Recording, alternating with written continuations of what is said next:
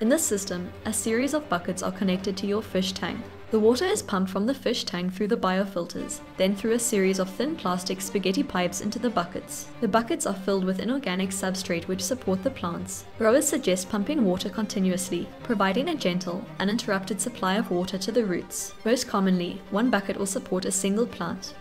If you want to build your own Dutch bucket system, you will need a series of buckets. These must be filled with your inorganic substrate of choice, spaghetti pipes to supply water to the buckets, your fish tank and biofilter system, a pump, again preferably with a backup battery system,